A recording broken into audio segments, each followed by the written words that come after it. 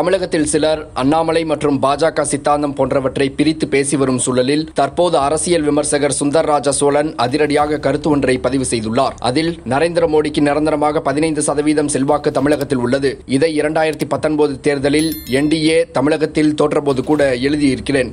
நல்ல நிர்வாகி துணிச்சலான தலைவர் ஊழலற்ற ஆட்சியாளர் என்ற புள்ளிகளில் அவருக்கு வெகுஜனத்திடம் எப்போதுமே ஆதரவு உள்ளது.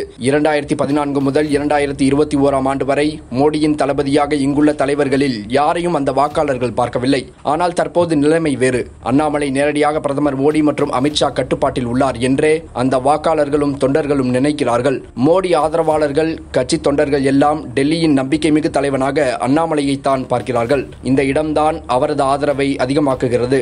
அண்ணாமலையின் தனிப்பட்ட உழைப்பு தகுதி நடத்தையால் மோடி ஆதரவாளர்கள் மற்றும் தொண்டர்களின் நம்பிக்கையை பெருமளவு பெற்றுவிட்டார். இப்போது அவர் வெகுஜனத்தை நோக்கிய பயணத்தில் உள்ளார். இதை புரிந்து கொள்ளாதவர்கள்தான் தான் மோடி அண்ணாமலை கட்சி சித்தாந்தம் என்று பிரித்து பிரித்து தானும் குழம்பி பிறரையும் குழப்பி நாசமாவார்கள். தனக்கு வழங்கப்பட்டிருக்கும் வேலையின் இலக்கை அறிந்த அண்ணாமலையை இவர்களால் எதுவுமே செய்ய முடியாது.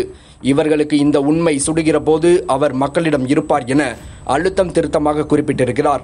சமீப நாட்களாக கட்சியின் சித்தாந்தம் வேறு அண்ணாமலை வேறு என சிலர் பேசி வரும் நிலையில் அவர்களுக்கு புரியும் வகையில் தெளிவான விளக்கத்தை கொடுத்து இருக்கிறார் சுந்தர் ராஜ சோழன் ஆனா டெல்டா பகுதியை பொறுத்தவரை நம்முடைய ரைஸ் பவுல் தமிழகத்தினுடைய மிக முக்கியமான இடம் அது. நம் அனைவருக்கும் கூட உணவு கொடுக்கக்கூடிய பகுதி அங்க இருக்கக்கூடிய விவசாய நண்பர்கள் தான் நமக்கு உணவளித்துக் கொண்டிருக்கின்றார்கள். இது காங்கிரஸ் யூபிஏ ஒன்று காலகட்டத்துல அதுக்கான எக்ஸ்ப்ளோரேஷன் அனுமதி கொடுத்து எக்ஸ்ப்ளோர் எல்லாம் பண்ணி அதன் பிறகு இப்போ ஒப்பந்தம் எல்லாம் சைன் பண்ணி திமுக அங்க ஆட்சியில் இருக்கும் பொழுது பல விஷயங்கள் நடந்திருக்கிறது. இன்னைக்கு மத்திய அரசை பொறுத்தவரை அந்த கோல் ஆக்ஷனுக்காக ஒரு டெண்டர் ரிலீஸ் பண்ணியிருக்கிறாங்க அது நம்முடைய கவனத்துக்கு வந்தவுடன் நேரடியாக மத்திய அரசுக்கு எடுத்து சென்றிருக்கின்றோம். பிரகலாத் ஜோஷி அவங்களுக்கு எடுத்து போயிருக்கோம். சட்டமன்றத்தில் நம்முடைய தலைவர்கள் எம்எல்ஏக்கள் எல்லாம் பேசியிருக்காங்க. அதனால் அதில் நேற்று ரொம்ப தெளிவாக சொல்லியிருந்தோம்.